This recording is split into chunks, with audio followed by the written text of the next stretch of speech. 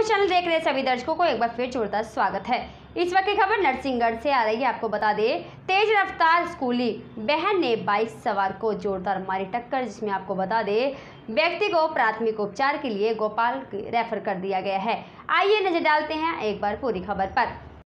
शहर के करीबन छह किलोमीटर दूरी पर, आपको बता दें, कुदाली चोड़ के समीप सुबह एक इंपीरियल स्कूल का वाहन अनियंत्रित होकर पलट गया। दुर्घटना वक्त आपको पता चले उसमें स्कूल के बस में स्कूली बच्चे सवार थे, जिसमें आपको बता चले कि गनीमत रही कि आपको बता दें कि बच्चों को कहीं भी कोई चोट नहीं आई है। बड़ा हादसा हो सकता था और ये हादसे बड़ा होते ही बच चुका है। मुताबिक स्कूली बहन के ड्राइवर की लापरवाही से ये यातायात हादसा हुआ है। मौजूद लोगों ने बताया है कि ड्राइवर तेज गति से सड़क पर वाहन दौड़ा रहा था। इसी के बीच ही सामने आ गई बाइक को बचाने के चक्कर में एक दुर्घटनाग्रस्त हुई है।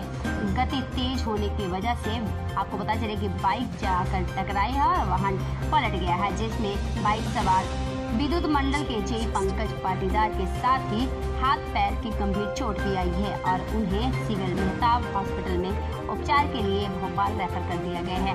आइए सुनते हैं इनका एक बार बयान। प्राइम ब्रेकिंग न्यूज़ चैनल के लिए आप खास रिपोर्ट आप देख सकते हैं। आलम सिंह वर्मा की नरसिंहगढ़ से। अच्छा तो इसमें सर बच्चे कितने थे? सर सोलह सत्रह बच्चे थे उसमें और जो गाड़ी है वो दिलीप सिंह नागर जो है ड्राइवर हमारे वही चला रहे थे।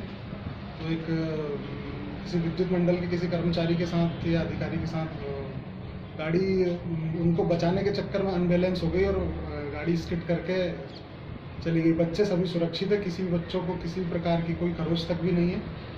कितने बच्चे थे गाड़ी में सर? सिक्सटीन सेवनटीन बच्चे थे।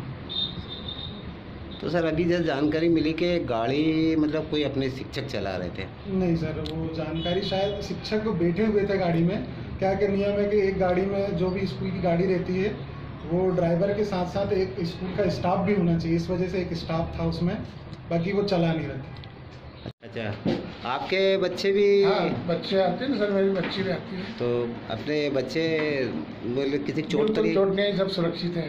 अच्छा हमें जानकारी ये भी बता रहे लोग बाग के बच्चे उसमें ज़रूरत से ज़्यादा भरे हुए थे नहीं नहीं सर ऐसा कुछ नहीं बच्चे तो नहीं थे नहीं थे? ज़्यादा रोज आते हैं वो तो लिमिटेड बच्चे आते हैं। हम्म। मतलब जो डबल ट्रिप में दूसरे बच्चे आते हैं बाकी लिमिटेड बच्चे थे बच्चे सब सुरक्षित हैं। ये हादसा कितने बजे हुआ था? क्या किस कारण? ये किस कारण नहीं हुआ तो क्या सुबह बच्चों को लेकर ये ट्रैक्स गाड़ी थी स्कूल बस की? तो उसमें जो है